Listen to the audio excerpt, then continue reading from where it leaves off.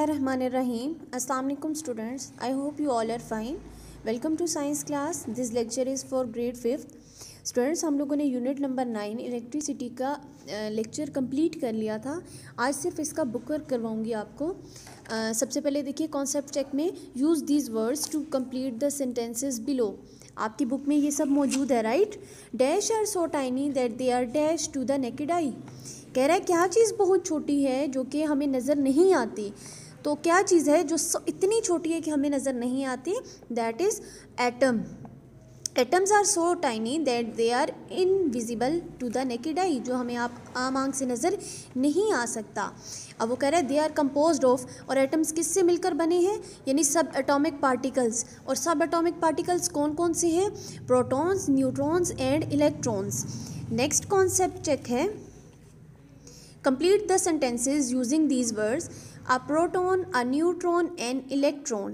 ठीक है? ये तीन आपने लिखने हैं।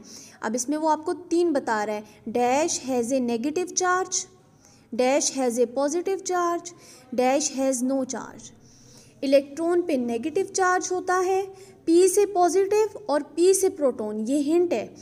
और न्यूट्रॉन एन से नो चार्ज और एन से न्यूट्रॉन राइट न्यूट्रल होता है, यानी उस पर कोई चार्ज मौजूद नहीं होता। आगे एक्सरसाइज में देखें choose the correct answer which of this correctly define electric current मुझे नहीं पता बाकी ऑप्शंस क्या हैं, लेकिन मैं आपको जो इसका करेक्ट ऑप्शन है, उसको डिफाइन कर रही हूँ। The flow of electrons in an object किसी भी ऑब्जेक्ट में, किसी भी मटेरियल में आपके इलेक्ट्रॉन्स जो हैं, उनका बहना क्या है? आपका इलेक्ट्रिक करंट नेक्स्ट है when an object gains electron अगर कोई भी ऑब्जेक्ट जो है, वो इलेक्ट्रॉन को गेन करता है तो उस पर नेगेटिव चार्ज आ जाएगा। ठीक है? When an an object becomes charge when it lose और गेन्स यानी या तो वो लूज़ कर रहा है, या वो गेन कर रहा है तो फिर वो क्या हो जाएगा? चार्ज हो जाएगा। इसका मतलब है कि वो फिर एटम नहीं रहेगा आइन बन जाएगा। नेक्स्ट है if a material is negatively charge it will attract a positive charge object यानी दोनों नेगेटिव चार्जेस या दोनों पॉजिटिव चार्जेस आपस में एक दूसरे को अट्रैक्ट नहीं करते। दो नेगेटिव चार्जेस भी एक दूसरे को रिपेल करेंगे, दूर धकेलेंगे, और दो पॉजिटिव चार्जेस भी। यानी सिमिलर चार्जेस एक दूसरे को अट्रैक्ट नहीं करते, लेकिन ऑपोजिट चार्जेस करते हैं। एक प्लस हो और एक नेगेटिव हो तो वो एक दूसरे को अट्रैक्ट करेंगे। नेक्स्ट है lightning is an example of static electricity right static electricity means imbalance of charges उसके बाद आ जाते हैं फिल इन द ब्लैंक्स पे. The flow of electrons in matter is called current ठीक है? जो फ्लो कर रहे हैं इलेक्ट्रॉन जो फ्लो हो रहे हैं, वो क्या है? आपका करंट है. The buildup of an electric charge on the surface of object is called as static electricity यानी सतह पे जो आ जाता है चार्ज उसको इलेक्ट्रिक स्टैटिक इलेक्ट्रिसिटी कहते हैं।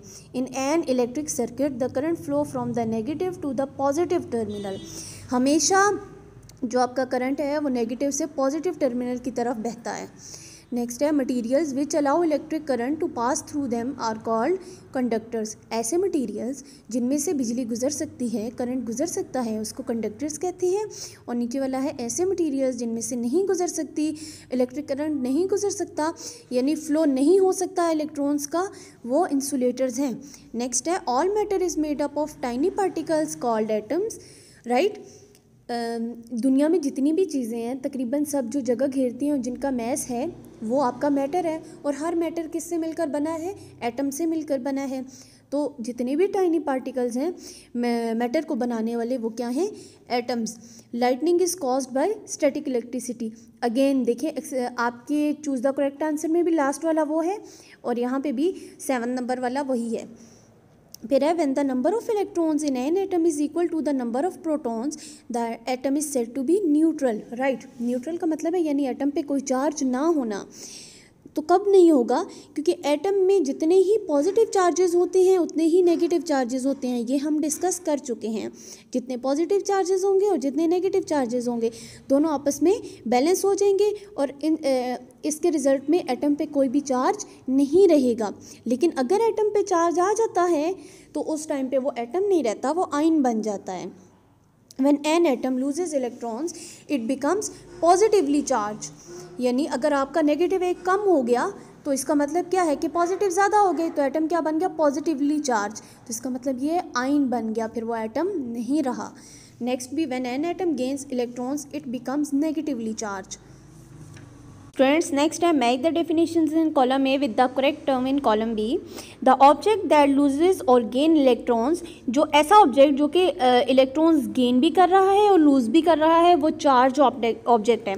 नेक्स्ट है the particle in an atom having a positive charge मैंने फिर बताया था पी से पॉजिटिव पी से proton the particle in an atom having a negative charge electron the particles in an atom having no charge no charge mean N से है तो neutron next है the imbalance of positive and negative charges static electricity sorry मैं fifth छोड़ गई। वो है the flow of electrons in an atom electric current next है mark the sentences with true और false a positively charge object will attract another positively charge object कह रहा है, दो पॉजिटिव चार्ज जो हैं, वो अट्रैक्ट करते हैं। गलत। वो तो रिपेल करते हैं, एक दूसरे को दूर धकेलते हैं। फिर है if some electrons are remove from an object the object become negatively charge ये भी गलत है। If some electrons are removed अगर वो रिमूव्ड हो गए हैं माइनस साइन कम हो गए हैं और प्लस ज़्यादा हो गए हैं तो वो पॉजिटिव चार्ज होगा ना? इसकी एग्जांपल ऐसे लें कि अगर एक क्लास में दस बच्चे नालायक हैं, ठीक है? और पंद्रह बच्चे लाइक हैं तो हम क्लास को नालायक कहेंगे या लाइक कहेंगे? डेफिनेटली जो ज़्यादा होंगे वही कहेंगे। अगर पंद्रह ज़्यादा हैं लाइक बच्चे तो हम कहेंगे ये क्लास लाइक है। और अगर कम है तो हम कहेंगे नालायक है। इसी तरह से अगर पॉजिटिव चार्ज ज़्यादा है तो हम कहेंगे कि ये पॉजिटिवली चार्ज है। और अगर नेगेटिव ज़्यादा हैं तो हम कहेंगे ये नेगेटिवली चार्ज है। उसके बाद कह रहा है a material that does not conduct electricity is called an insulator कह रहा है, ऐसा मटेरियल जो कि इलेक्ट्रिसिटी को कंडक्ट नहीं करता, नहीं पास होने देता, वो होता है इंसुलेटर फॉर एग्जांपल आपकी वुड हो गई रबर हो गई। उसके बाद है आसपार is an example of electric current right उसके बाद है an atom is set to be neutral if it has more proton than electron गलत। क्या कह रहे हैं? एटम उस टाइम पे आपका न्यूट्रल होगा, जिस टाइम पे आपके प्रोटॉन्स जो हैं, वो ज़्यादा होंगे इलेक्ट्रॉन्स से। ये तो गलत है। हम न्यूट्रल उस टाइम पे होता है जब पॉजिटिव और नेगेटिव आइन और सॉरी पॉजिटिव और नेगेटिव चार्ज दोनों सेम होते हैं। मीन्स जितने नंबर ऑफ़ प्रोटॉन्स होंगे, उतने ही नंबर ऑफ़ इलेक्ट्रॉन्स होंगे नैन एटम तभी तो वो आपका बैलेंस होगा, आपके चार्जेस बैलेंस होंगे, और इसके रिज़ल्ट में आप क्या कहोगे कि एटम जो है वो न्यूट्रल है। ठीक है, और हर एटम न्यूट्रल होता है, ये जहन में रखिएगा।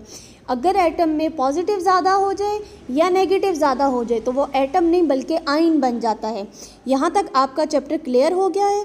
ठीक है, इसको बार बार देखिएगा, पढ़िएगा, और अपना ख्याल रखिएगा। अल्लाह हाफिज़।